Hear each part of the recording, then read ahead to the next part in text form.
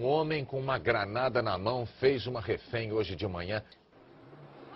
O assaltante dominou a comerciante que foi usada como escudo. Ana Cristina Garrido ficou assim, sob o poder do bandido, por 40 minutos. Ela é dona de uma farmácia que foi invadida pelo assaltante em fuga. Quando ele viu a polícia aproximando, ele correu.